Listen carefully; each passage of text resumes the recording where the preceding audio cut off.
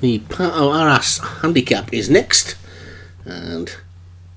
this is a six furlong 0 to 80, and it looks like we've got issues, so we're going to skip the commentary on this one, and I'll see you for the next race.